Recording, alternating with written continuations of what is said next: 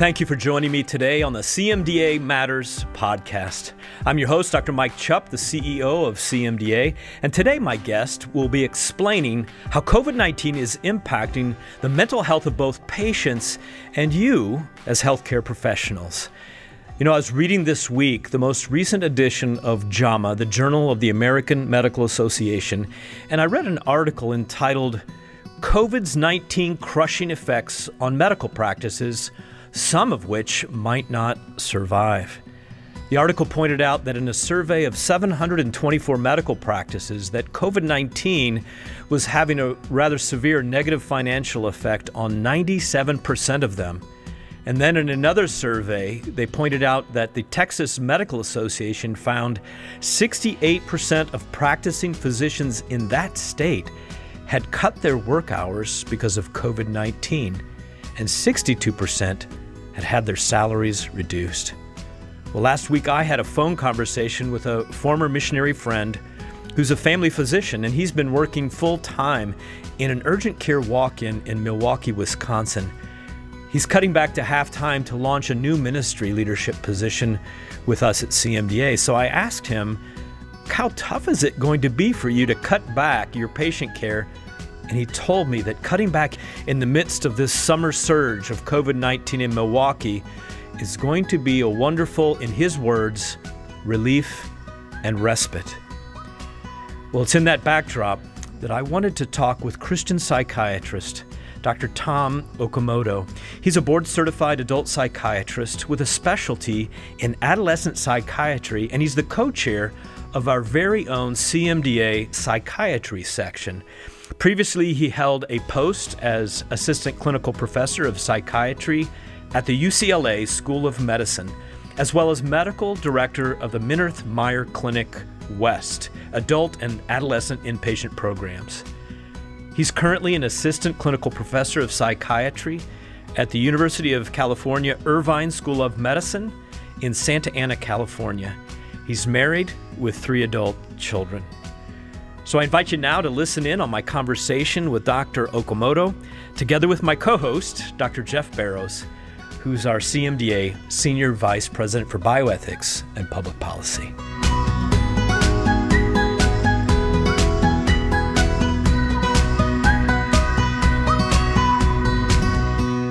Well, I want to welcome to the microphone today Dr. Tom Okamoto to our program, CMDA Matters.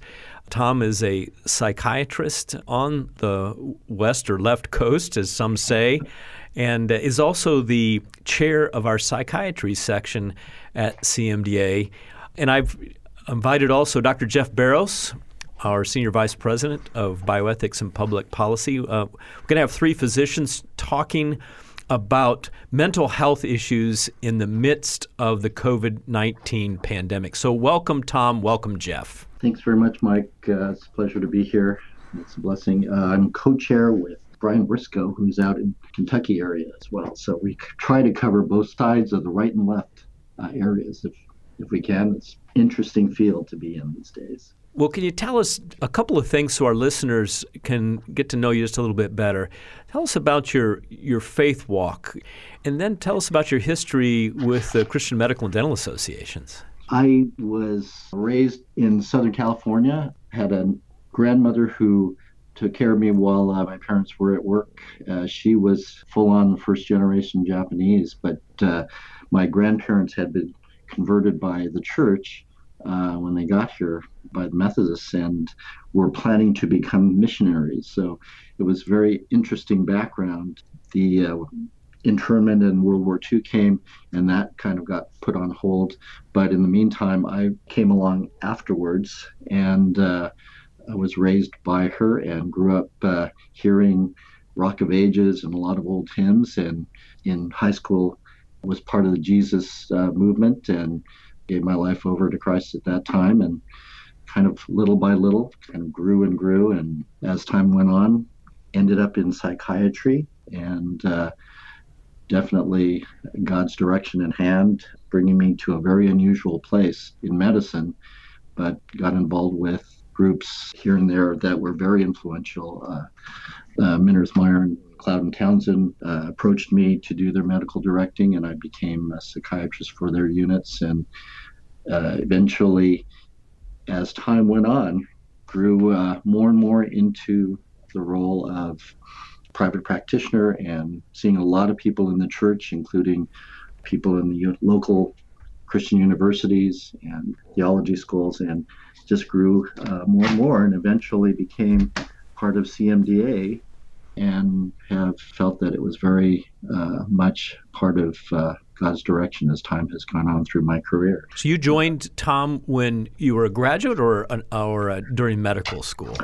I connected late into my career as a, an assistant clinical professor. I had been doing some things with the local psychiatric society in uh, governmental affairs and uh, learning about community uh, relationships, and uh, felt like, well, there's something called the CMDA, and there's a psychiatry section, and I should be a part of that. So, the past few years have jumped in and enjoyed the fellowship and uh, kind of a unique ministry within CMDA. Is now psychiatry has become a big part of medicine. So, kind of late in my career, but uh, a good time. Within medicine, and certainly uh, psychiatrists who are Christians, I must say that as I was going through my own general surgery practice in a community hospital and and then serving overseas and having short-term doctors come and serve with us, I really didn't encounter that many Christians in psychiatry.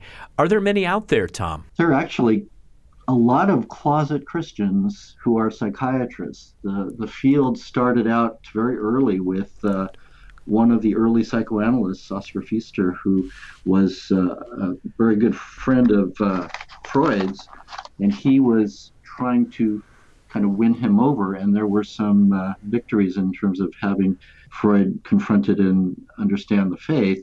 But since that time, and even before then, when psychiatry was first birthed in the 1800s, there were a lot of Christians, physicians, who were initially neurologists who saw the whole side of mental illness and were really touched that there's this whole part of humanity that had mental illnesses that were not characterized and not treated. And since then, a number of famous uh, psychiatrists who are also Christian, who we never knew they were Christian until you started to look into it. Uh, Winnicott, who has a lot to do with, he was a pediatrician, became an early psychoanalyst uh, Benjamin Rush, who's the father of American psychiatrists, uh, major figures in psychiatry who are Christian. Their their faith has been sort of written out of the history books, and you have to look for it.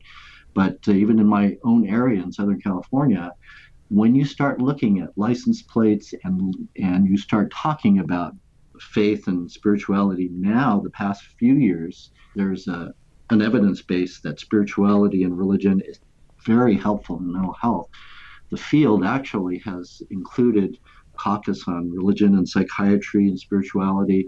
Uh, there's a lot of research base for uh, including spirituality in treatment planning, and part of the interviews now are to include spiritual histories. So psychiatry has warmed up to spirituality and is no longer antagonistic. And uh, a lot of Christian psychiatrists are there. They just have been very uh, hidden, and now they're kind of coming out, so to speak, and being a little more comfortable with their role as uh, psychiatrists who also go to church, who also have a spiritual life, who also are growing in the faith with their careers. Well, Tom, that's that's very good to know, especially with this recent COVID nineteen pandemic. So, I wanted to ask you what kinds of mental health issues have people been experiencing, and what have you what have you seen in your practice in dealing with COVID nineteen? At this stage, I am more of an outpatient psychiatrist, so I am not in the hospitals, but I do have uh, colleagues who are deeply embedded in the hospital practice or CNL psychiatrists, so they are seeing a lot of mental ravaging of the patients in terms of neuropsychiatric syndromes, deliriums, dementia, dysexecutive syndromes, along with the worsenings of mood disorders, psychotic disorders. It's uh, worse than has been in the public. It's very difficult. And a lot of times the mental part of all of this, the neuropsychiatric, is relegated to the background a little bit because we're just trying to help these patients survive. So it's very significant uh, in terms of depression, anxiety, PTSD. What's interesting is that uh, now it's, it's such an international illness, and, and science has tried to coordinate all of our research efforts. We're getting research papers coming from all over the globe in terms of mental health issues and effects of COVID on the population, on frontline providers, because we've been preparing for something like this in terms of uh, mental health effects of pandemics and uh, traumatic events like this in the culture for quite a while. So even just things like unemployment issues in, in the society have affected suicide rates and are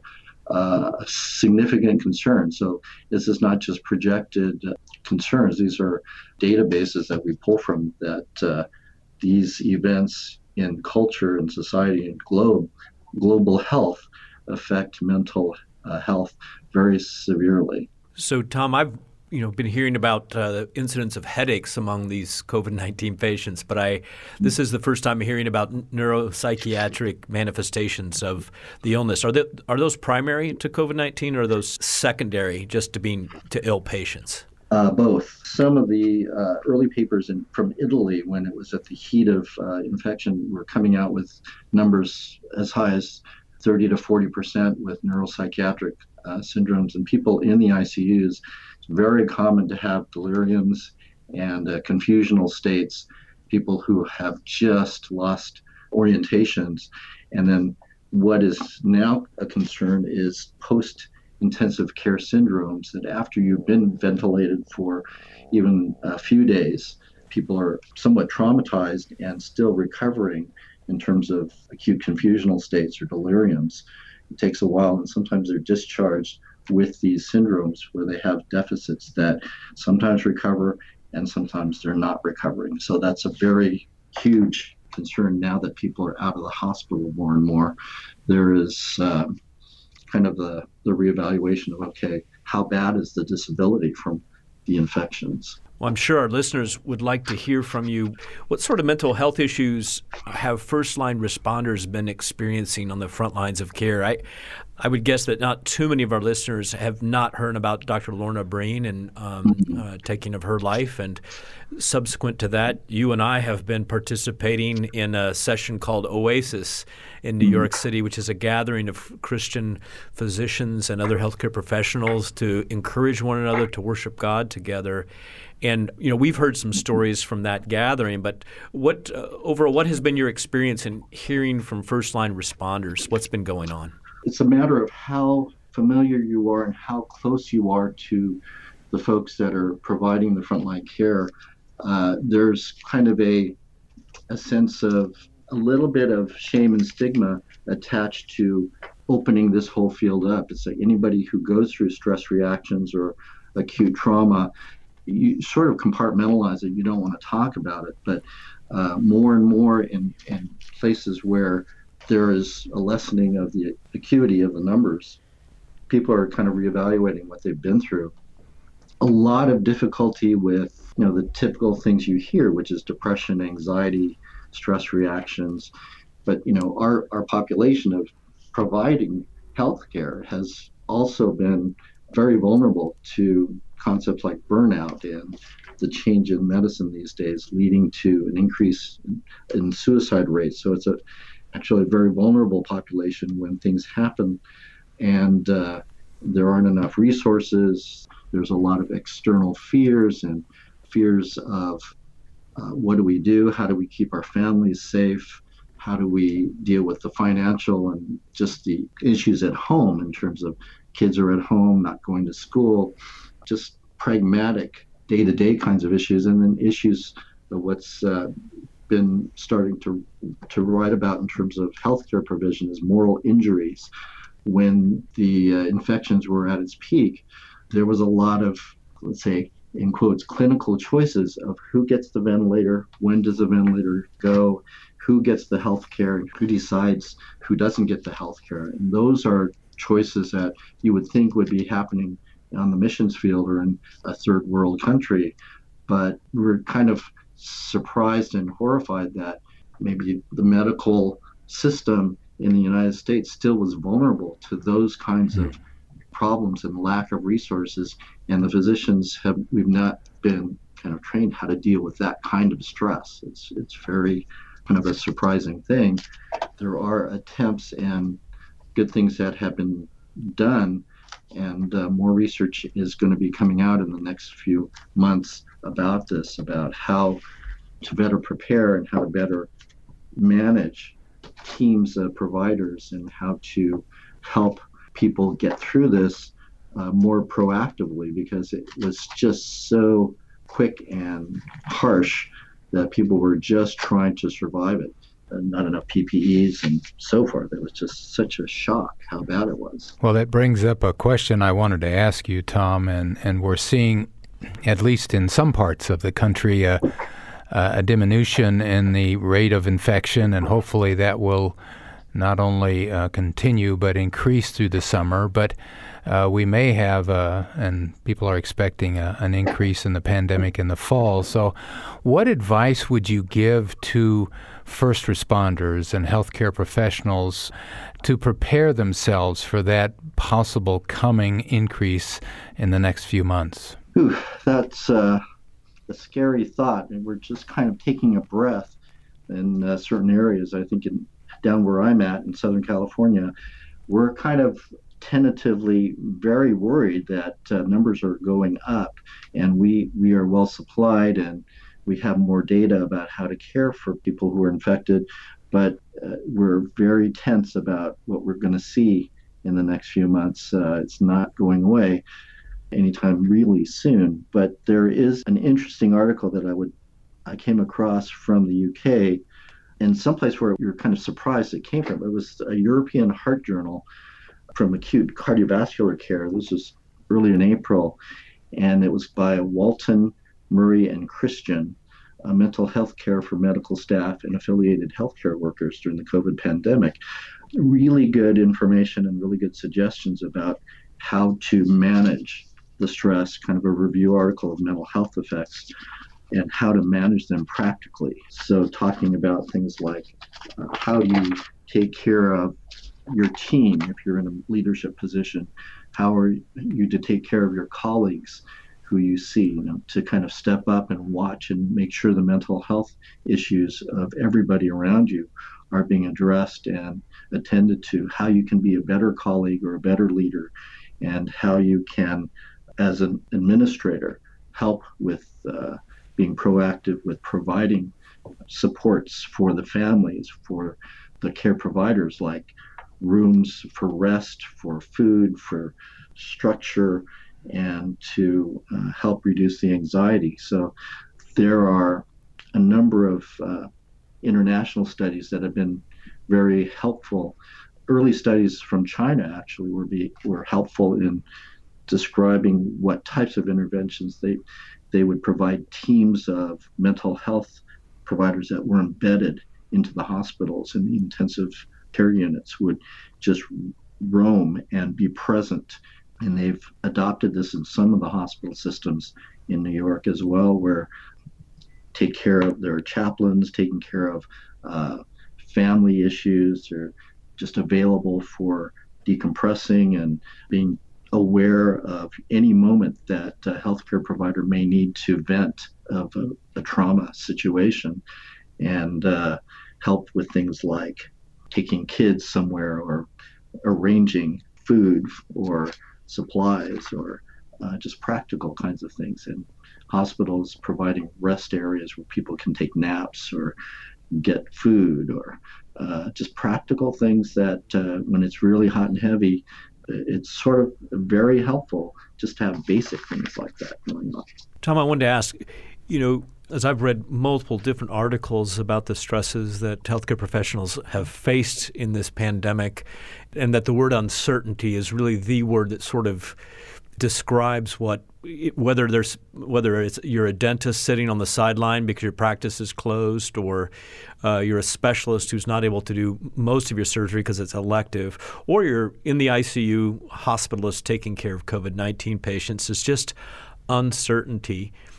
And then all of the mental stress involved with that emotional stress that out of this, maybe a silver lining would be a huge push, a huge jump start to physician wellness programs across this country like never before because mm-hmm. of COVID 19. Would you anticipate that happening, that, that the stigma maybe is going to be washed away a little bit more than before, and that uh, healthcare professionals will be more willing to look for help because this is something we've never faced before? I think it's the, the efforts have been positive to try to get there but we're built uh, with certain DNA, training with the way we do, and uh, needing the ag- aggressiveness and denial to be in the front lines and to take care of patients and to jump in when uh, we may have personal fear or anxiety about certain things. Uh, our goal is to treat patients, and we're kind of grown to do that. So it's always going to be difficult to acknowledge weakness and uh, needs and self care. Those are things that are very kind of on the bottom of the list because we do what we do.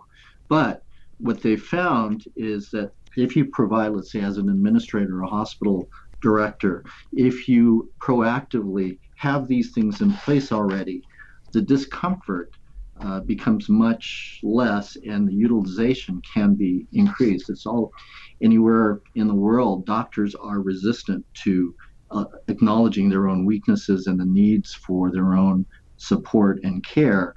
When people are there in the moment ready to catch and listen these can be chaplains they can be mental health people they can be leaders on the team to be trained to be watching for these moments where somebody needs to decompress and somebody needs to have some place to process through their stress at home or some tragedy that they've been part of or you know multiple patients dying how you know you need to be able to pray or process through that.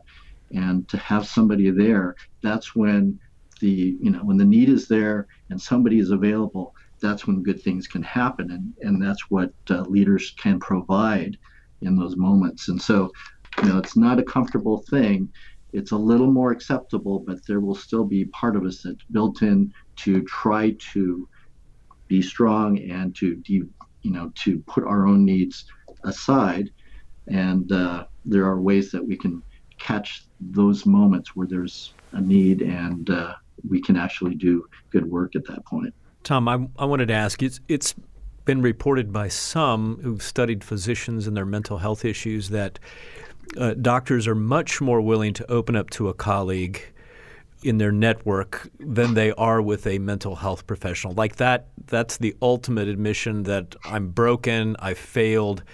So, so many of our listeners, um, the majority are not mental health professionals. So, what recommendations would you make to those of us who've not studied psychiatry and who don't do this for a living? What kind of recommendations would you make to us when we hear about stress? Difficulties uh, and some level of brokenness coming from our colleagues? The stigma and shame that we carry as physicians, kind of expected to be superheroes these days, and this is part of this whole thing about heroes and cowards these days. There's so much stigma to not fulfill that role of the super person without weakness. Uh, as Christians, we know that that's quite not a healthy thing and it's spiritually not the right direction for us but we all are encouraged to be there as uh, mds these days and first liners are pressured. So stigma is huge. So we have to consider especially the ones who are believers that we take the mantle for supporting and caring for and loving our colleagues. As leaders we can you know be better leaders in terms of looking out for mental health issues and wellness issues mm-hmm. look for how our colleagues and our, our team members are doing in terms of uh, sleep and anxiety management and stress tolerance and coping, uh, how family time is available or not available, how are people doing self care. We have to each look at our colleagues and see what they need and how are they doing and ask and talk and communicate be supportive spend time and make sure you know that other people are getting enough sleep and are taking care of themselves and uh, families are being cared for. Just you know what can you do to support them on your shifts off and so forth. So we have to take that time since uh, the hurdle of going to see a psychologist or a psychiatrist outside of your sphere is really looked upon as a last resort so and and in terms of the studies for the most part people will adapt and adjust if they have some humanity and uh, support around them. People experience a lot of anxiety and a lot of stress, but for most people, they recover. Some people need some treatment, some people need more attentiveness and care and management or monitoring by the leadership. But most of the folks on front lines actually are pretty resilient. And are there markers that you can give us that would say, hey, Mike, you, you run into a colleague who says this or is doing this or you notice this, this is someone you need to be strongly urging to get help from a mental health professional. Talking about the kinds of things that you see in the list, but change in personality, irritability, uh, lack of patience, impulsiveness, lack of energy, people who appear drained and are not taking care of themselves, who are not kind of keeping a balance. Uh, one of the conferences I attended talked about portion control. If people are not doing portion control of food, sleep, relationships, the internet, and so forth, uh, those are kind of signs that maybe people are out of balance or not able to manage the stress. So, uh, but things like panic attacks, sleep, cognitive function, and emotional reserves are things that you watch for. And uh, if somebody's having a lot of trouble and being a little more impulsive and having decisions that are not their typical decision process, sometimes it's helpful to suggest and uh, kind of give a list of okay, there are a lot of apps, there are a lot of uh, ways that the hospitals sometimes have transitioned to certain treatment areas. So it's a very tricky thing, but uh, if we all do it, then it's not so much unusual. Well, we've basically run out of time, uh, Dr. Okamoto. I want to thank you and uh, Dr. Brian Briscoe and uh, Marshall Williams, who's your administrative mm-hmm. assistant in the psychiatry section. I think you guys are an incredible group of leaders who are very interested. I was one of the, my disappointments, one of many of my disappointments in the cancellation of the national convention was the afternoon session that you had planned to talk to us, give us an update on management of depression. But I, I want to encourage you. I know one of your motivations is that uh, you get out among our many chapters in the various schools and encourage students to consider psychiatry as a profession. It does seem like a profession that is somewhat broken and has become uh, secularized. And I think Dr. Barrows here will, will agree yeah. with me that we're struggling against a lot of brokenness. Absolutely. Thank you, Tom, for taking the time to be with us today. It's a pleasure to be here and uh, keep praying for the CMDA and great ministries.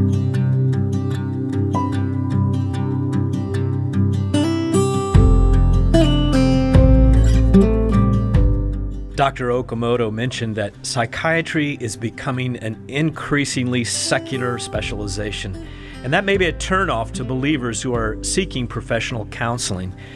Yet Christians struggling with depression are often facing stigma within the church and feelings of their own personal spiritual failure. We have a brand new book at CMDA called Downcast. It was published earlier this year, and it promotes the biblical and medical hope for depression. It was written by Dr. Jennifer Harris, who was my guest on CMDA Matters a couple of months ago, also with Dr. Harold Koenig and Dr. John Peteet. It's a very thoughtful and practical guide, and it weaves together scripture, theology, cutting edge scientific research, and the stories of many well known and highly respected Christians who have suffered themselves with depression.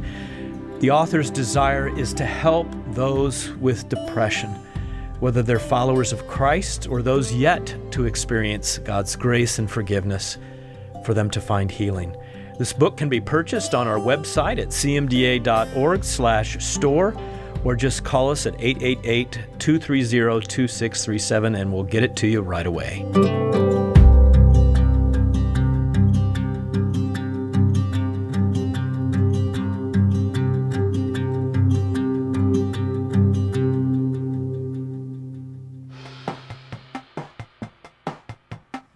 If you are a colleague in your clinic or practice or hospital is struggling to deal with the additional stress which COVID 19 has added to their lives, you can check out CMDA's Center for Wellbeing at cmda.org/slash wellbeing.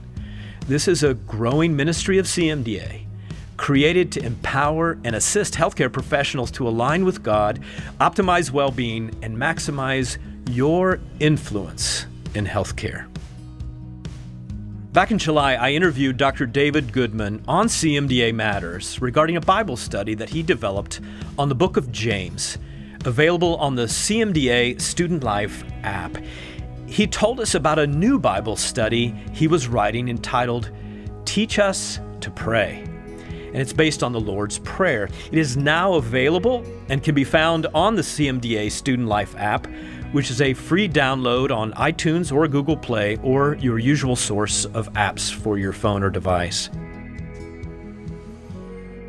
As I wrap up this podcast, I want to remind you a new CMDA Matters podcast is released every Thursday and encourage you to subscribe in iTunes or Google Play or what other podcast subscription platform you use.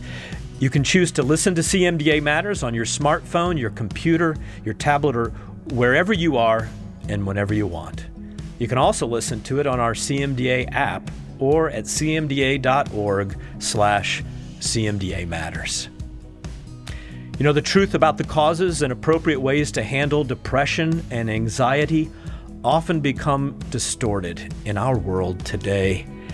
In John chapter 10, verse 10, Jesus reminds us the thief comes only to steal and to kill and destroy. I came that they may have life and have it abundantly. Jesus tells us that God's desire for us is to live abundantly, friends, experiencing joy in Him and all the good gifts He has given to us, those of us, His sons and daughters who serve Him in healthcare. This is Dr. Mike Chupp signing off for now and reminding you that what matters to you matters to CMDA and CMDA Matters. We'll see you next week, God willing.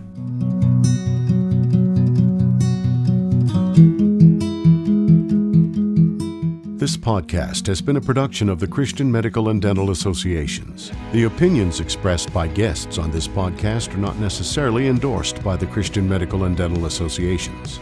CMDA is a nonpartisan organization that does not endorse political parties or candidates for public office. The views expressed on this podcast reflect judgments regarding principles and values held by CMDA and its members and are not intended to imply endorsement of any political party or candidate.